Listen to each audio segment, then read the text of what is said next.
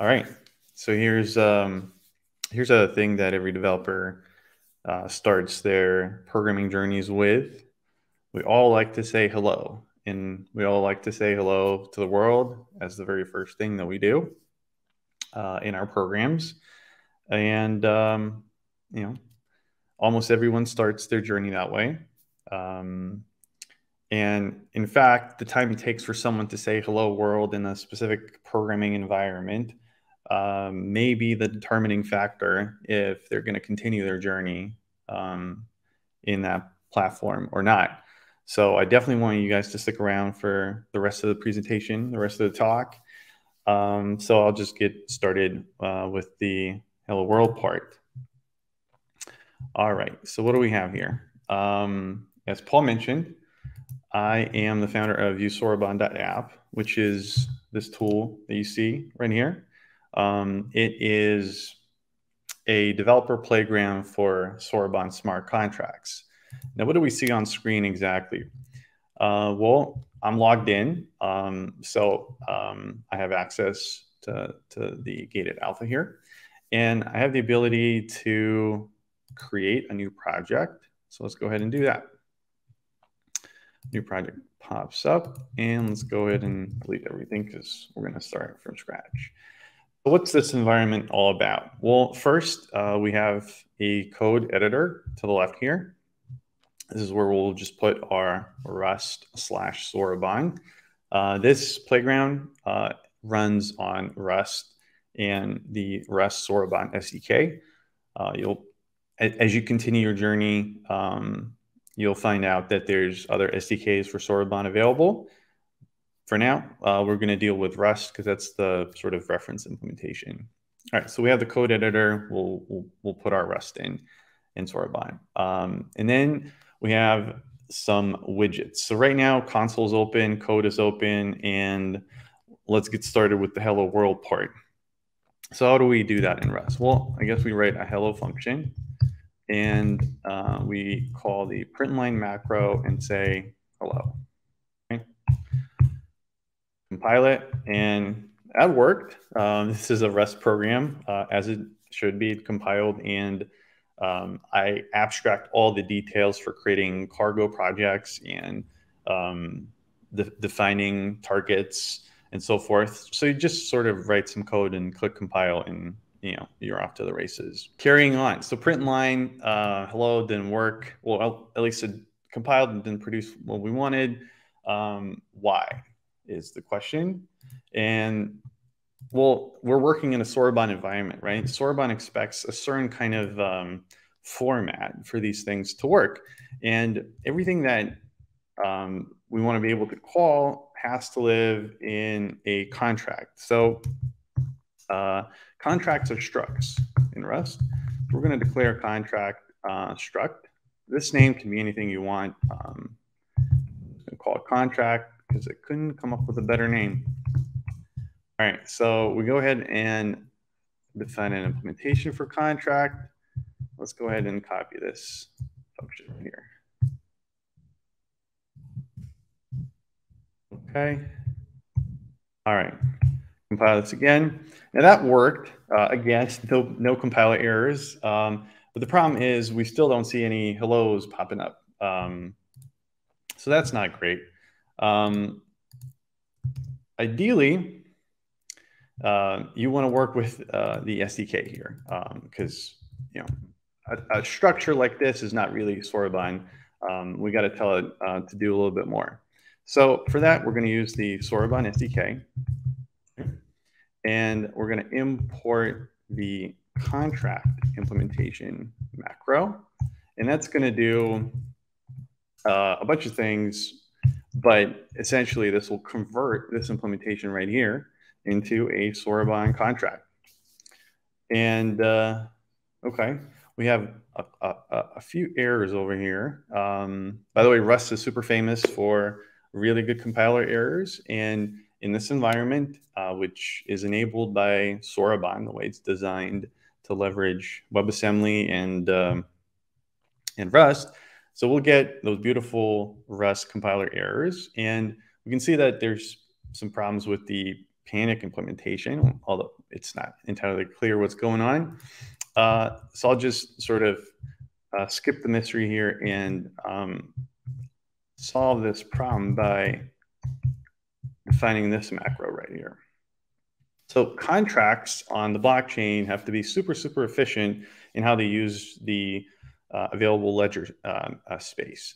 And uh, Rust programs, even though they're pretty light, um, they still carry a bunch of stuff that we don't really need uh, as part of our contracts. So to eliminate everything that we don't need um, and just get the rest that, you know, the basic rest that, that is required for contract uh, logic, well, we declare um, the no STD macro. This, um, unfortunately, um, removes the ability for us to use the print line macro to print this stuff.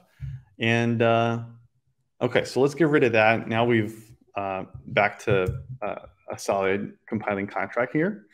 And let's go ahead and declare this function as a public function. Now we have something on, on, on screen up here uh, that's uh, looking like a button. So in this uh, actions widget, which is sort of the a third of this uh, interface in the middle, is where you will be able to click and interact with every function that your contract declares. So our contract right here declares a single hello function. We can call it and we'll see in the console a return value. So it's implied that a function without a, uh, an explicit return value returns none in Rust. So same applies here. And we're going to return value null. Um, I guess we can leverage this return dynamic to finally say hello to uh, everyone tuning in. And for that, we will need a special type. So again, since we can't use a Rust string, um, it's unavailable, uh, we have to figure um, a, a, different way to carry our information. And for that, we're going to use a symbol, which is an efficient data type um, in, in Soroban for storing alphanumeric uh, characters, uh, essentially all the letters of the alphabet plus the digits and the underscore. So what we're going to do with symbol is we're going to initialize a short symbol that says hello. And short just means that this sequence of uh, characters will be able to fit in a single 64-bit uh, value, which is pretty important um, um, when it comes to this, this uh, context. Let's recompile this again. And, uh, oh, thank you, Rust uh, compiler. We are returning a value. So let's uh, make sure that we declare what we're returning. And let's call this. All right, so we have a return value hello um, from this function right here. And um, this is sort of your basic, most basic implementation of a Soroban contract that says hello to anyone uh, tuning in. Now, let's make it a little bit more spicy. Um, and let's use uh, a little bit more of the environment here. So let's say we're going to log a value. Um, everybody loves logging. As a you know, someone coming in from a web developer background, I use console log all the time, and console log is uh, the best. So we have an equivalent in Soroban. It's called log, the log macro, and we're going to declare a new function called hello2. And what are we going to do here? We're going to uh, going to say hello to a specific name. That's going to be a symbol. And we're not going to return anything. Okay, so how do we interact with this log macro? Um, well, it's a macro, so we use a bang, and then the first argument is the environment within which we're logging this value. And uh, you'll get used to this concept of every single function that your contract has that interacts with anything else and anything in the outside world will have to have environment as the very first argument it's kind of like your access to everything. So log accepts the first argument um, being the environment. So we're just going to pass in a reference to the environment. Next up we have a string. And we're going to use hello bang and then we're going to provide the name. Okay, let's compile this. Uh, oh, we're missing environment in, in this import. And a handy feature is if you're having problems with a specific um, type or you're missing something, you can go ahead and click um, links right inside of your compiler uh, widget that will take you to the documentation. So it's an easy feedback loop. So now that we've imported an environment, we can recompile this again and try saying hello to Twitch, I guess, is where most of you are. Um, and in this console widget, we can see that in between hello to, which is the function that we're calling, and the return value, we have a log that says hello Twitch. All right, so I'm almost done with the first demo. Anyone and everyone that's tuning in, you can actually test this on your phone. Um, so this is going to be a multimodal demo. And um, for that, I'm going to take my phone here. So I just popped up this uh, share modal. I'm going to take my phone. This is an actual phone I have here. Bring up the camera. Hey, everyone. And I'll go ahead and look at the QR code here. Tap on usesoroban.app.